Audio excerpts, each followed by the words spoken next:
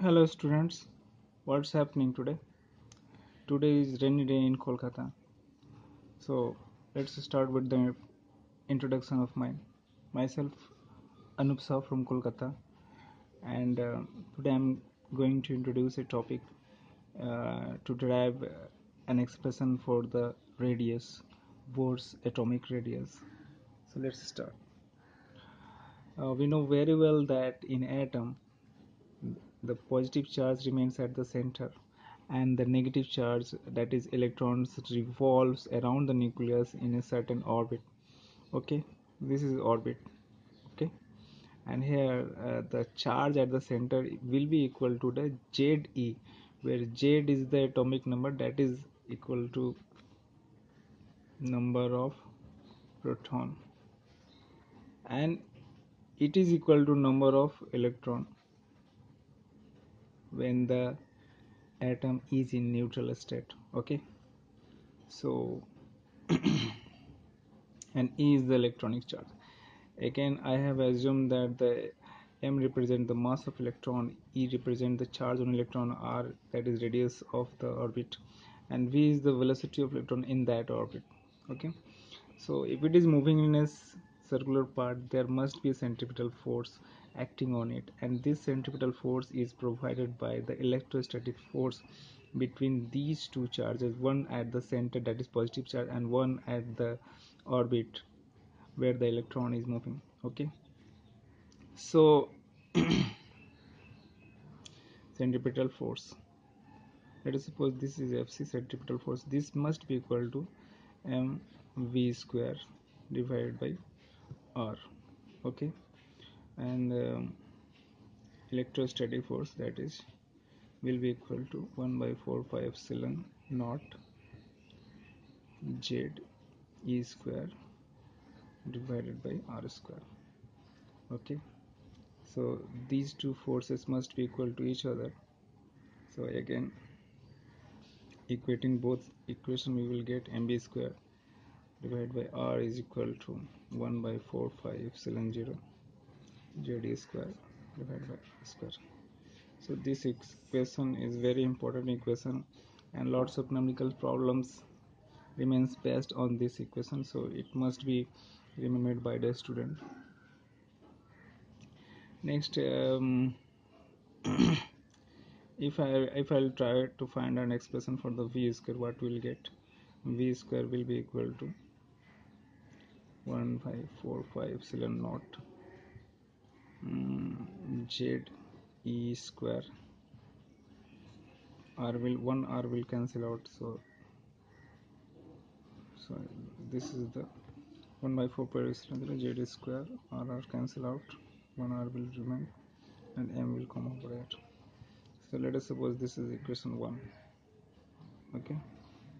Now again again from Bohr's atomic model that uh, we know that um, the angular momentum of the electron in the orbit is equal to the integral multiple of h divided by 2 pi where h is the Planck constant this is the one of the postulates of the Bohr's atomic model. So mvr is equal to mvr is equal to nh divided by 2 pi. Here n can be any number 1 2 3 1 2 3 etc. Okay. This is the linear momentum mv when it is multiplied by the radius it will give us uh, angular momentum. And this is equal to the nh divided by 2 pi so here uh, if I am squaring both sides we will get m square v square r square is equal to n square h square 4 pi square. Okay. So v square will be equal to n square h square 4 pi square into 1 by m square r square this m square and r square will uh, go to the denominator side. So let us suppose this is equation 2 this equation 1 and this equation 2 uh, must be equal to each other because their left hand sides are equal. So so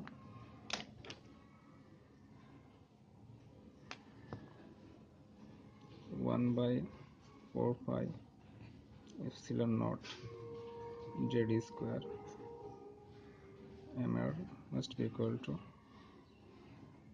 n square h square 4 pi square 1 by mr square r square. So I have to just uh, make an arrangement make a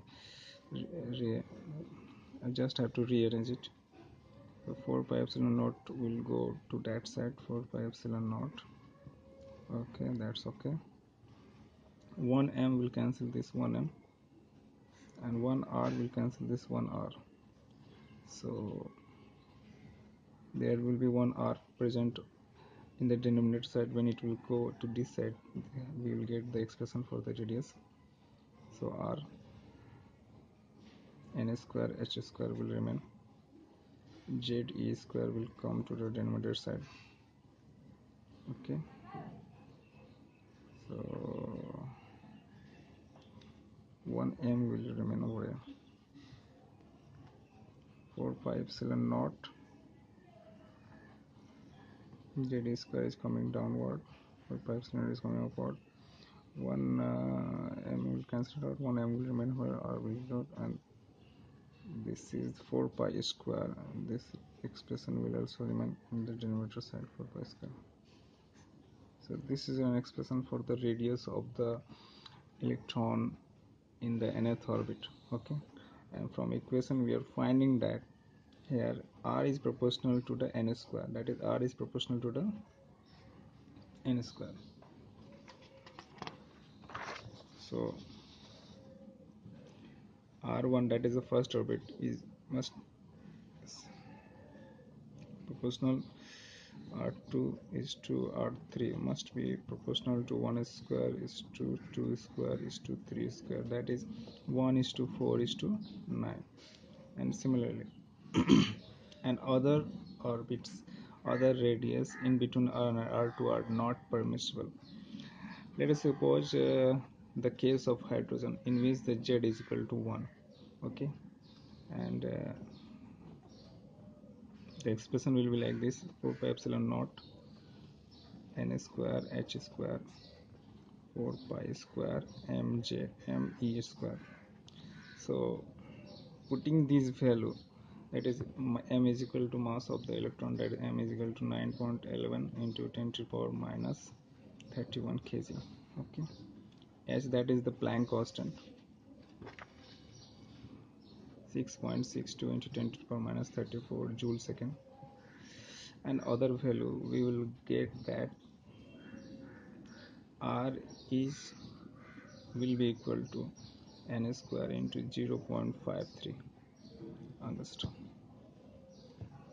so for first orbit that is r1 we will get the value of radius of the first orbit of the hydrogen. This is for the second orbit r2 we will put the value 2 square 2 square means 4 4 into 0 0.53 angstrom.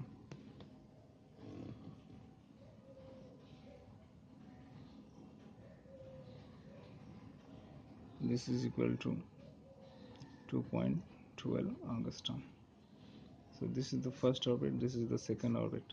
And in between these two orbits there is no any permissible radius in which the electron will remain in which the electron will revolve. So this is the expression for the radius of the electron radius of the orbit in the hydrogen like atom okay? And uh, the proper expression is this one with the value of z included. Okay.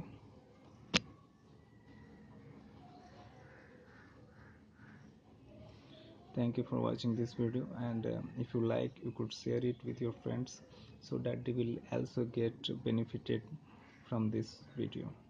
Thank you again